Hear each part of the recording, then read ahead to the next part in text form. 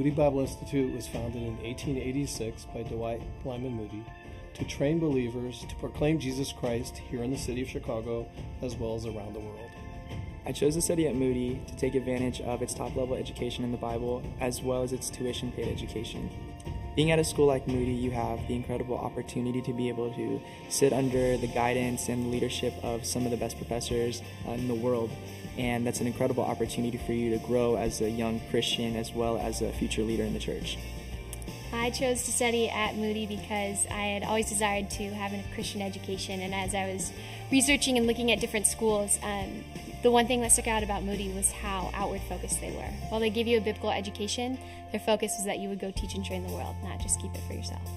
When I think of students looking back on their Moody experience, I want them to think that this was the most impactful time of their life in regard to the knowledge that they obtained in the classroom, the leadership skills that they developed, their relationships, and most importantly, their walk with Christ. I hope that they can look back and think that they fell more in love with Christ because they were at Moody Bible Institute. Yeah, the legacy that I would love to leave with my students is this that there is no greater calling than investing in the next generation. There's not something better along the path. This is not a stepping stone. This is it. This is ministry, and it's worth everything it costs.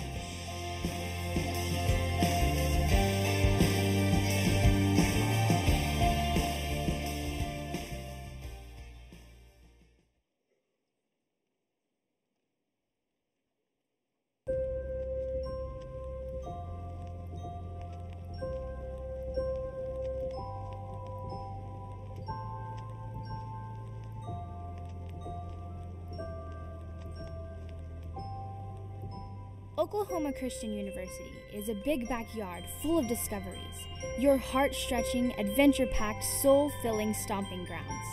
2,500 students strong, nestled in the heart of a big league city, rising up from the plains. Unflinchingly Christian, undeniably top tier.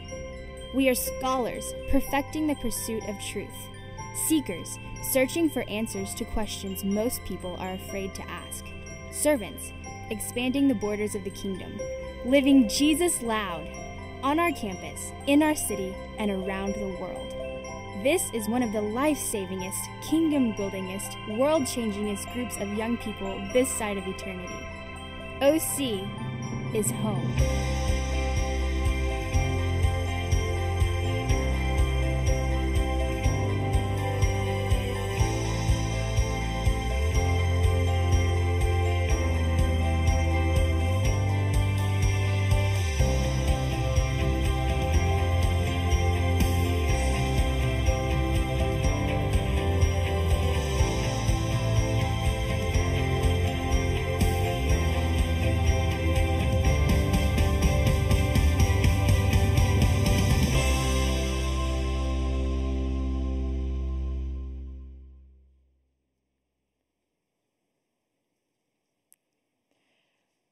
Good morning to you all.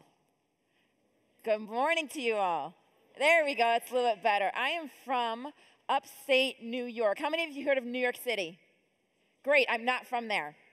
I am from a different part of the state. There is more to the state than New York City. Many people don't realize that. I'm from the great city of Rochester, which I just learned the other day that actually is one of the second or third um, largest cities in terms of the amount of snow that we get per year. I didn't realize that. I thought it was normal to walk to school in snow that was this high, but apparently it's not. Things that you learn as you uh, continue on in life here. My name is Alycia, for those of you who've never met me, which is pretty much all of you. Uh, I now live in Atlanta, Georgia, and I spend my life talking with people about reasons why I think Christianity is true. In other words, a very big thing for me is engaging our mind. A big thing for me is for us to think through why we believe certain things to be true. And I'll talk with you a little bit later about some of my story. But a topic on engaging our mind is something that is very, very dear to me because I think it's very important as I travel around and I encounter so many different college students I recognize how important it is for us to think through what we believe in. But first, important things. Quick social media break. I have resisted being on Twitter for a very long time because I'm not a twit. However, our social media person at my job is a good friend of mine, and it would make her very happy if you would follow me on Twitter. So, if any of you, I guess it's not up there anymore, but if any of you would like to follow me, you see my name in your program, just add the numbers 88. There it is. That will keep our friendship alive and strong. So if you could help me out, that would be great. But I know none of you have your phones, so I'm sure you're not, you know, doing any of that now. But um, but thank you. I would really appreciate it. And you'll see I'll tweet things about cute dogs and puppies and kids and sports and all that kind of stuff. Just want to say really quickly I know this has been a very tough week here in Texas as the rest of America prays with you and, and looks on about the, the shooting, the church shooting that happened uh, very recently. You are in our thoughts and you are in our prayers. It is something that many of us around America have been affected by, not just because of what's happened here, but because of things that have happened in our own neighborhoods. And so I just want you to know that you are loved and cared for by many of us around. A little bit about me. I, have lived in Boston for the last four years, just recently moved to Atlanta. And in Boston, there are a lot of universities. How many of you ever heard of Harvard? Okay, MIT? Boston University, Boston College. Okay, good. So you guys know Boston is full of universities. They say about one out of every four students or people in Boston is a student. One out of every four is a student.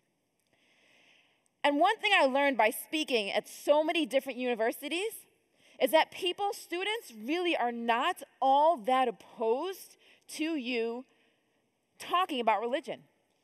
They're not all that opposed to you talking about Christianity as long as you have something intellectual, some kind of solid foundation from which you're speaking on. So if you go to somebody and say, hey, I'm a Christian because somebody gave me a book one day and I believe in it, you're going to lose all credibility. But if you go to them and say, hey, I'm a Christian because I know there's a lot of evidence for the resurrection of Jesus Christ, or you're saying, I'm a Christian because I've looked at the evidence for the Bible and the manuscripts and I see it as completely credible. Now they're willing to talk with you, and now they're willing to engage with you. And so, engaging your mind gets you very far in an atmosphere where people are anti God, but are very pro thinking, very pro thoughtful and reasoned arguments. And so, you, as students, need to know why you believe. Pretty soon, you will graduate high school, middle school, you will go on to college, and your objections, or sorry, you will be faced with objections. Your beliefs will be questioned. And when people say, Why do you believe? you need to know why. When people say, How do you know it's true? you need to know how. So today, what I want to look at is how do we engage our mind? I'm going to look at why we engage, how we engage, and then I want to look at some popular common objections I hear, about, hear about Christianity and see how we can engage with somebody who is bringing those arguments to us. Now, engaging our mind is not something new, guys. Okay, this is something we do all the time. You do it at school, you do it at home, you do it out in society. We are always thinking and engaging our mind. And we use our minds to help us know what makes sense. To show you what I mean, I want to take you, show you some outdated laws and show you how we engage our mind with everything that happens, even in normal day society. These are real laws, okay? It is forbidden to fish while sitting on a giraffe's neck. I hope that you guys now feel better knowing that you won't break that law the next time you go fishing. Another law while riding in an elevator, one must talk to no one and fold his hands while looking toward the door. Probably what you do, anyways, but who knew that that was actually a law? How about this one? A person may not walk around on Sundays with an ice cream cone in his or her pocket. Whoa. How many of you have broken that law, that good old ice cream cone in the pocket trick? Yeah, right? Let's look at this one. Slippers are not to be worn after 10 p.m.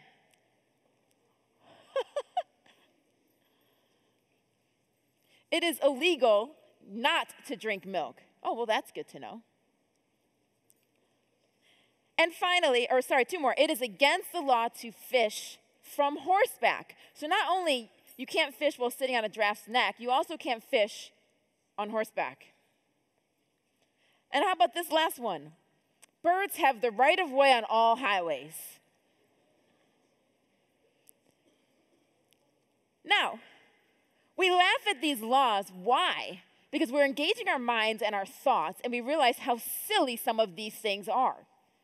Okay, if somebody was to say you can't engage with the, you can't, um, you have to give the right of way to a bird, we would find that to be silly. Okay, so we engage our mind at many, many times in our life. It is not just about Christianity. But here's what's great about Christianity engaging your mind with Christianity is a part of loving God. So, why should we engage? Well, number one, we engage our minds so that we know why we love the Lord, our God, with all of our heart, soul, mind, and strength.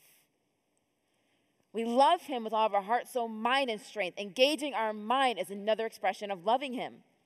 When we engage our mind, it helps us to know why we believe. When somebody says to you, Why are you a Christian? You have an answer. And I don't mean what's your testimony, what's your story, how you came to know Jesus. That's not what I'm asking. Why Christianity? There's Hinduism, there's atheism, there's Buddhism. Why Christianity? Why are you a Christian? That is a popular question that people ask me. When we engage our mind, we'll know how to handle challenges raised against Christianity. But we also want to engage their mind, meaning we want to engage the minds of the people we are talking to or that we are engaging with. When people want to ask questions about Christianity, when they're interested in Christianity, they want to know does Christianity answer the life questions that I'm asking about why I'm here, how I live, how I got here? They want to know that they can bring their intellect into their religion and not leave it at the door. So, engaging our mind helps people to realize that Christianity is something that they can embrace with their whole mind. So, how do we do this? How do we engage? You may laugh at the first one, but this is a story of my life. Talking to yourself. In other words, don't just read something out of the Bible, friends. Think about it. Think about what Christianity teaches. Does it actually make any sense? This whole Jesus dying on a cross thing, huh? How do you explain that? How do you process through that? Consider how you can explain Christianity to anybody who is unclear about something it teaches. What does it mean to be saved? All of these big words we use. But I also want to encourage you in something that I see as a major problem here in our society today. I want to encourage you to engage yourself and to challenge dominant ideas. You need to challenge dominant ideas. What do I mean by that?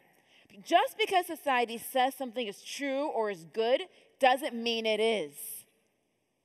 Just because society says something doesn't mean it's true. What are the arguments on both sides of an issue? Don't let society tell you guys what to believe. Begin to think for yourself. Believe it or not, as much as you may or may not like math, this is a big thing that math does for you. It isn't always just about the numbers. Math teaches you critical thinking skills. You can't say 2 plus 2 equals 4 if you can't show me how. And it forces you to have to understand why you say something is true and not just say it. Think it through. Do not let society tell you what to believe or tell you what is true. Truth doesn't necessarily popular opinion. But we also need to talk to other people when we are engaging friends, teachers, any questions you have. Run them by your peers. Talk to different people. Say, I'm not sure about this. What do I do about this? And make sure that you're a person that when somebody says, hey, I'm not sure about this whole Christianity thing, I kind of don't know if I think it's true. I'm doubting it. Or maybe it's somebody who isn't a Christian and they have questions. Make sure you're somebody that they can go to. Are you somebody that they can actually ask their questions to? And another point I really want to emphasize with you, which is counter to society today, is I would encourage you to engage in thoughtful discussion with people who disagree with you. Don't just sit there and listen to people who are on the same side of you in regards to a particular argument or particular belief. That doesn't help you strengthen what you believe in, and it doesn't make you question what you believe in. You need to engage in thoughtful discussion. People who say that, hey, I think this whole God thing is crazy. Great, tell me why. You're my new best friend. Use your critical thinking skills. Good, healthy dialogue where people are encouraged to be honest in their thoughts and opinions is enriching for you. Listen to what other people believe in, and I'm telling you, you will find more confidence in Christianity. When I talk to different people, in fact, I have a whole talk I do on why I'm not an atheist. And a lot of that talk, a lot of the things I say in that talk as why I'm not an atheist, are things that I've learned in discussions with atheists where their atheism has failed them. And so, even though they're an atheist, they find these issues in their belief system, and it only strengthens my resolve to why I'm never going to be an atheist. When you engage with other people, you learn all the faults of their belief system, and you can help them to see the truth in Christianity. And I know it's a bad word to say, but it's study. You need to study. And I don't mean study the latest Facebook post or 140 or 280 Twitter character post, but I mean actually read from a credible source. Newsflash, guys, everything we see on social media actually isn't a reliable source of information. Everything you Google is not a reliable source of information. How do you know that the person who wrote that article on this random website actually knows what they're talking about? And isn't a five year old with really good language skills? You can't just believe everything that you read unless it comes from a source that you can actually trust. Read the Bible. Allow the Bible to direct you to teach you about the world that you live in. It is very relevant even for today. When people say there's no meaning to life, which is something I'm hearing a lot more often, this fact of just depression and loneliness and feeling like this is all there is, there's no reason to get up in the morning, read Ecclesiastes. They wrote about that thousands of years ago. It's not new. So now that I've looked at a little bit of how to engage, I'm going to show you a list of popular questions, popular objections that I hear in regards to Christianity. Take a look at these. See if there, and out of these, see how many are surprising to you, are interesting to you. What have I left out? What have you heard? Which ones do you struggle to answer? Which ones, if somebody asked you about, would you struggle to respond to? Many of these are not easy. And it'd be beneficial for you to consider taking time to look through some of them. To look through some of the major reasons why people resist Christianity. And many of them have to do with these reasons right here. At some point in your life, I know you may not believe this, but you too will probably question Christianity. If you haven't done it yet, it will probably come up at some point. I grew up in a Christian home. I was one of those kids who went to youth group. I went to Sunday school. We went to church Sunday morning, went to church Sunday evening. I had my little Our Daily Breads. I would read. And then I went to college. And I went to a Christian college. And at this Christian college, we had to take a Bible course. Two, Old Testament, New Testament. And it was in this Bible course, in this Christian college, with this amazing Christian professor, that I began to question and doubt everything I'd ever believed in when it came to Christianity. And in that one short, tiny class period, not the semester long class, but that one class period, listening to what the teacher was teaching about the Bible and how the Bible came together, I remember sitting there thinking, there is no way that there is a God. And in that short 35, 40 minute class, it completely erased 18 years of Christian education and a Christian learning in my life. And I walked out that class saying, There is no God. I remember walking back to my dorm, looking at the grass, looking at the trees, looking at the sky, and being like, This is it. This is all there is. There's nothing bigger, there's nothing greater. It's just earth. The wow factor was gone, the beauty factor was gone. But now, who was I going to tell? I'm, a, I'm in the gospel choir at the college. I'm one of the people that people come to for prayer. I couldn't tell a soul. And so I didn't. I didn't tell a single person. And I went on for several weeks, however long it was, for a period of time, thinking that there is no God. And I remember sitting there and saying, okay, Alycia, after a certain amount of time had passed, if you want to say there's no, there's no God or that Christianity isn't true, that's fine. But you have to come up with another explanation for certain experiences and certain questions that you have in your life. It's one thing to say there is no Christian God, that's fine. But that doesn't mean all of these questions about how did we get here? How do we explain Jesus? How do we explain experiences in your life where you prayed something and, and somebody answered that prayer? A prayer that nobody knew about, but yet that prayer was answered. You have to come up with alternative explanations. See, guys, saying Christianity isn't true doesn't mean that atheism is. Saying Christianity isn't true doesn't mean Islam is. All that means is Christianity isn't true. But you still have to find another answer to all of these questions. And so I was left in this situation where it's like, okay, I don't have another explanation for this. Christianity answers all of this over here. So maybe I'll give Christianity a second thought. Maybe I'll give it another chance. And spoiler alert, I became a Christian again. No surprise there. I walked right back into my faith. If you haven't had a moment of doubt, friends, you will. A moment when you need to really know why you believe. And you know what? There's many ways in which we can respond to doubt. Because the reality is that people believe things for a variety of different reasons, whether it's experience, whether it's evidence, whether it's logic. Maybe some people believe in a God because they're afraid of the afterlife. Whatever the reason is, the point is that when one of those things are challenged, we now don't know what to do with ourselves. And so some people may feel ashamed or embarrassed, like I was. I couldn't tell anybody. And we kind of just say, okay, well, one day maybe I'll figure it out. But right now, I'm just gonna, I'm just gonna kind of pretend that I, I, I know, and and I, and we'll just see what happens. Maybe when I'm older, when I'm 50 or 60, then I'll figure it out.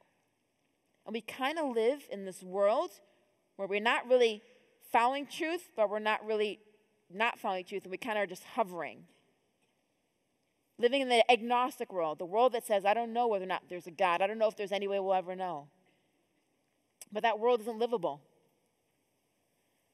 Some people can just say, Well, I'm doubting, I'm not sure, and so we walk away. Say, forget this whole thing. But we never, if we choose to walk away, we are saying, I never want to pursue what truth is. Because remember, walking away doesn't make God disappear if He is there. If He's there, He's there whether or not you believe in Him. So walking away doesn't bring you any closer necessarily to truth. Or we can do what eventually I did is we, can begin to search for answers. And this is where engaging our mind comes into play.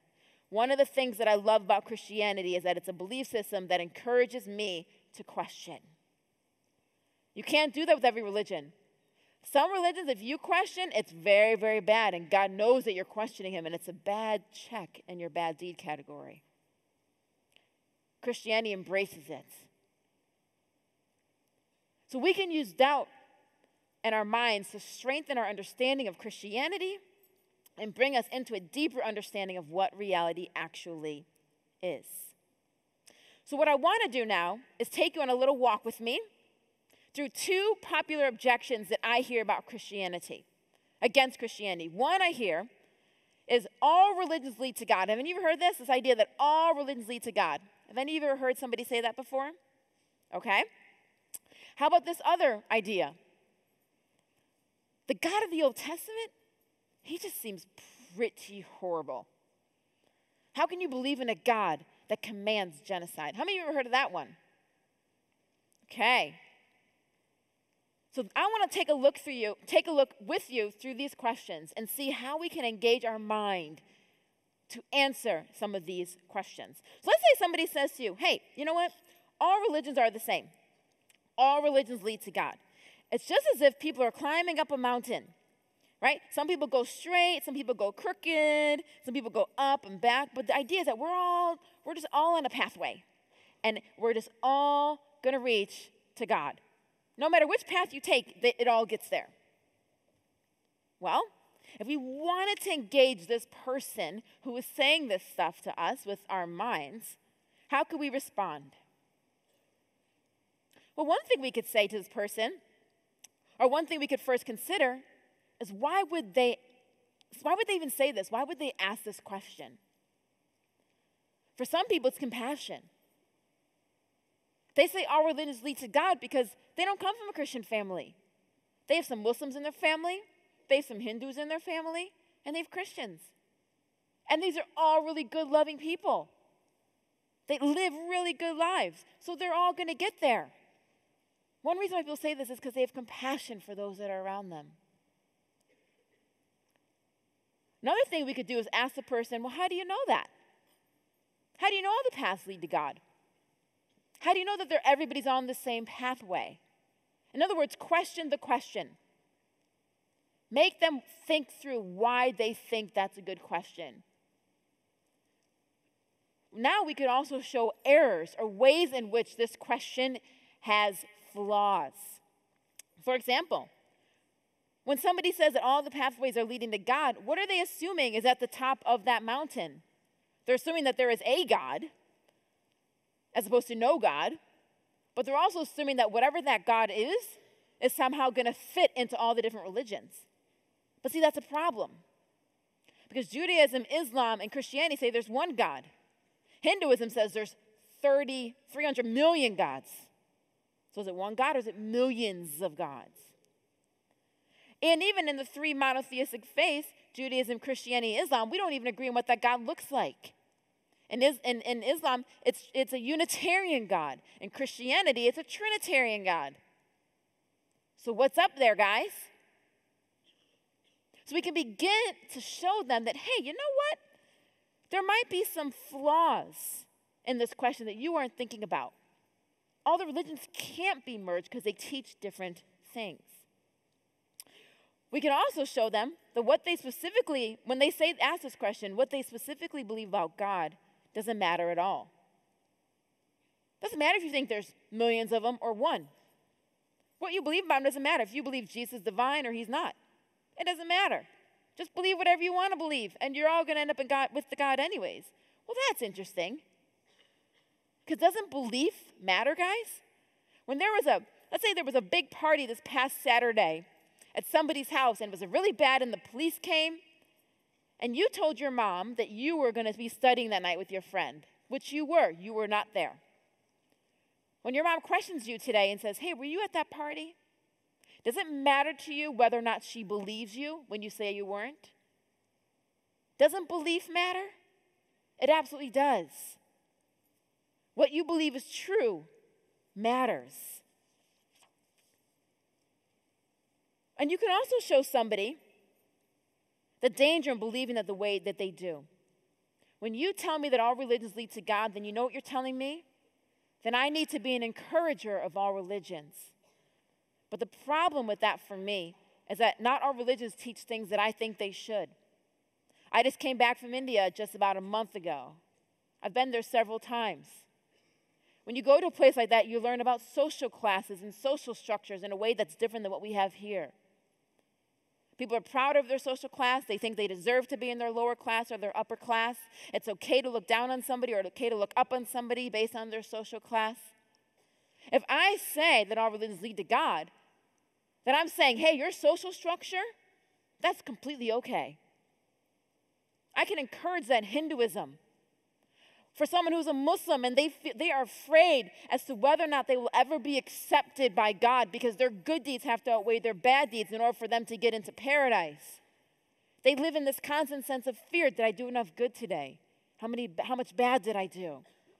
When I say all religions lead to God, then I have to encourage them to live in that life of fear.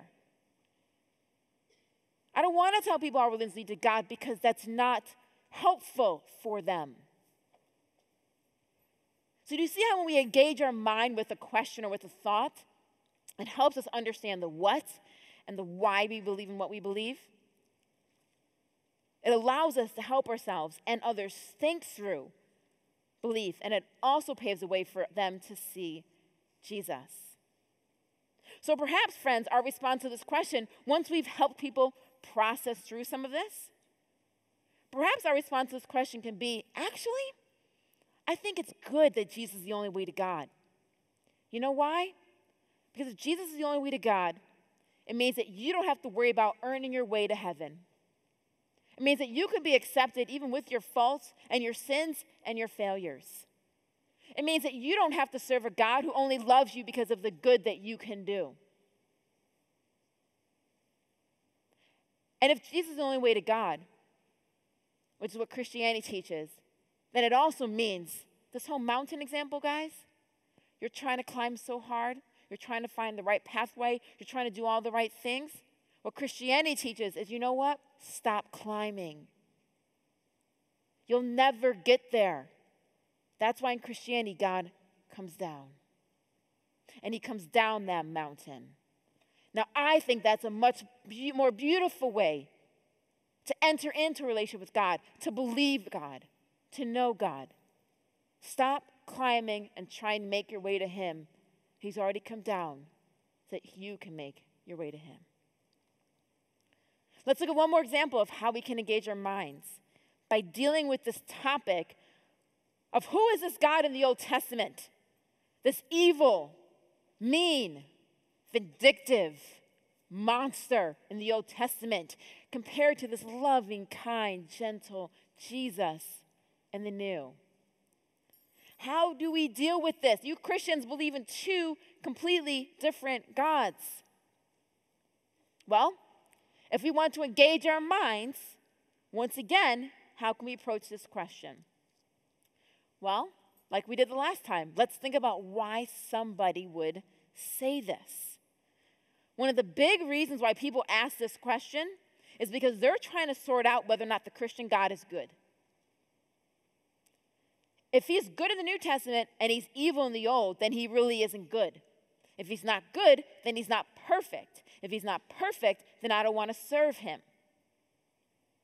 This is all about the character of God, this question. How is it that I can serve a God who seems inhumane? So we can think about why is somebody asking this question?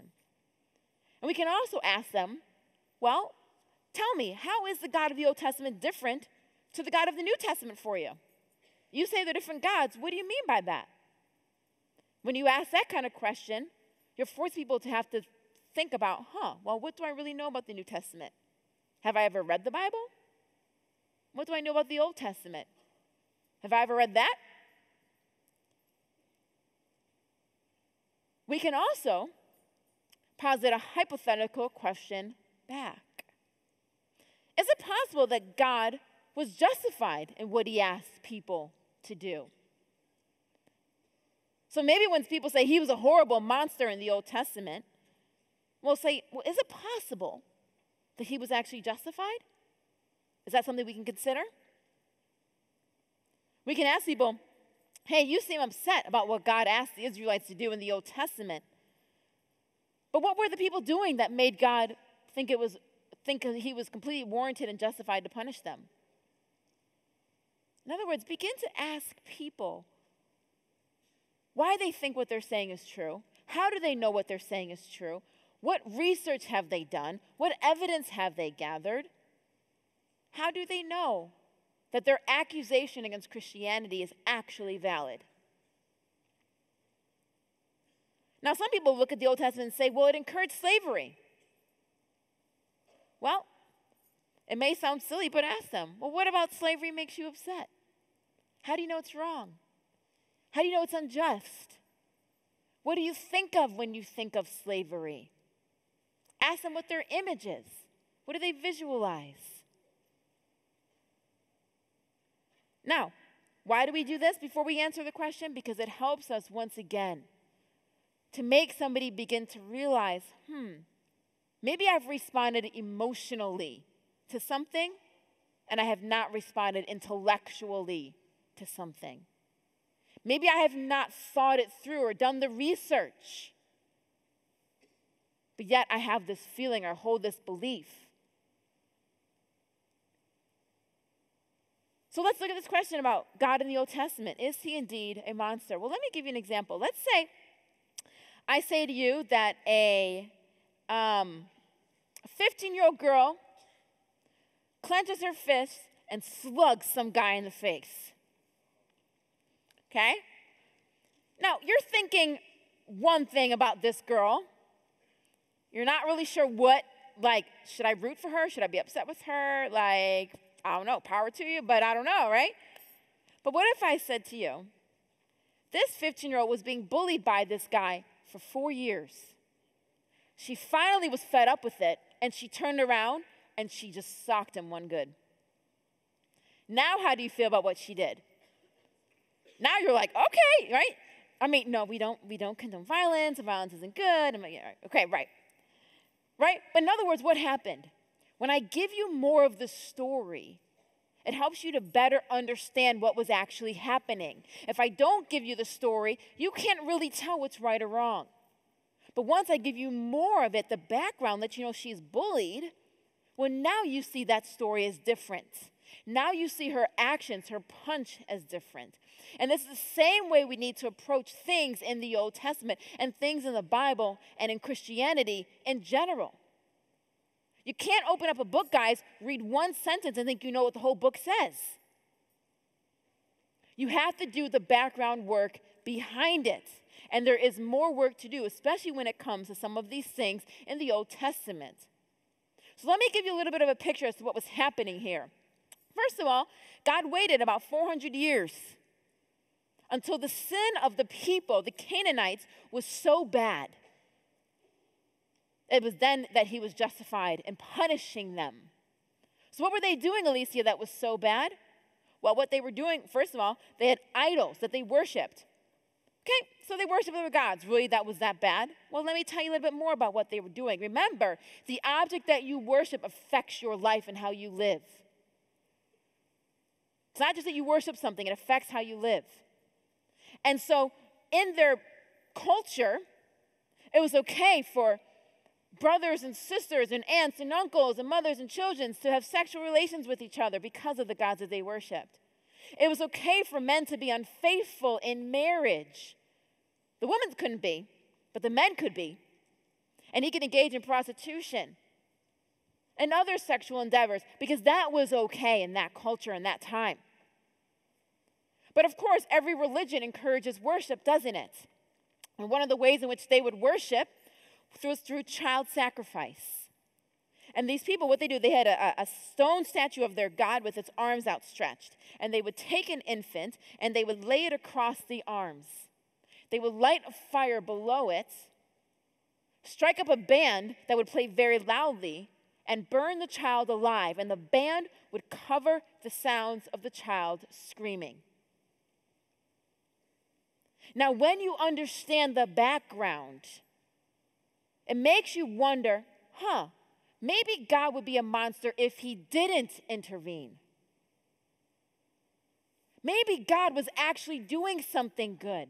Now that I see a bigger picture, now that I've done the research, now that I've engaged my mind, now that I've thought through this, maybe I actually can find justification and actually be grateful that God intervened. But what about this whole idea of slavery? Right? I hear this all the time. The Bible encouraged slavery, encouraged slavery. Really did it? See, the problem is, guys, is that we think of slavery as what happened in America. And we project that thinking into every other time we read the word slavery. But slavery in the biblical times was different. Sure, they had very similar slavery to what we had, but that wasn't what God was encouraging his people to do. He was calling them out of a society that was oppressive and saying, hey, I actually want you to treat slaves in a different way than what you've been treating them. Slavery was voluntary.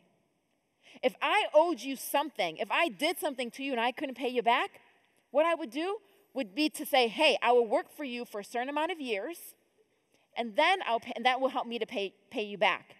You couldn't work for somebody more than seven years, nor could I work seven days a week.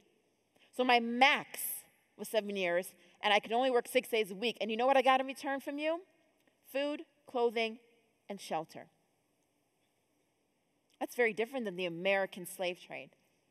When we look at this whole idea of um, how people were treated, right? How were slaves actually treated? Well, you know what? If a slave was abused, they were to be freed under God's laws. If a slave was um, kidnapped, that was punishable by death. If a slave ran away and was freed, you were not allowed to return them.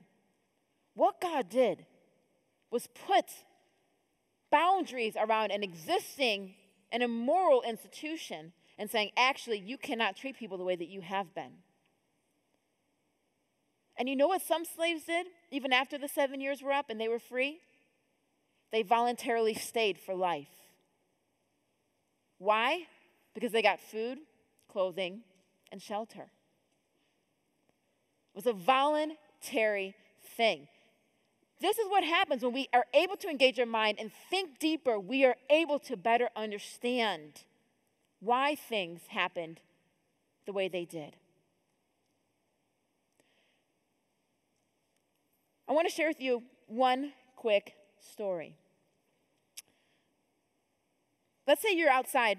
Let's say you're about four or five years old, and you're outside um, playing with a ball. And your ball rolls into the street. Okay? Four or five year olds see what? Ball, street.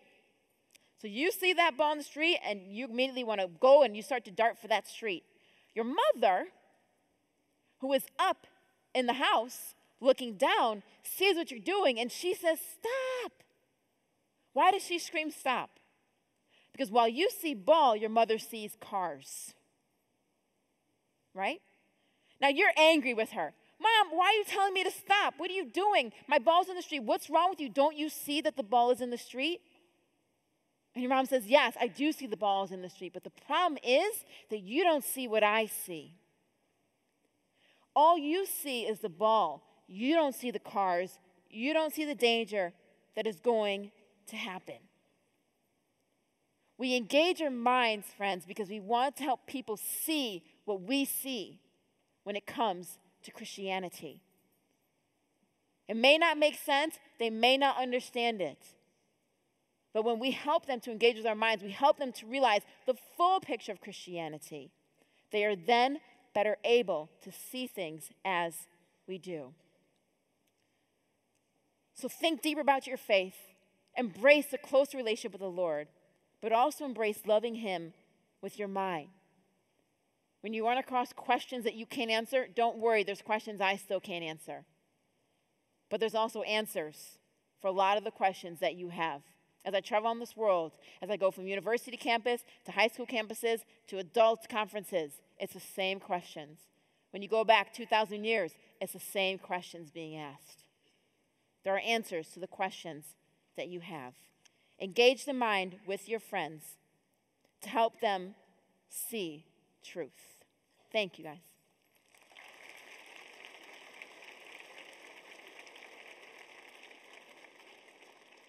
All right. Thank you, Alycia. We're going to take a uh, quick four minute stretch break.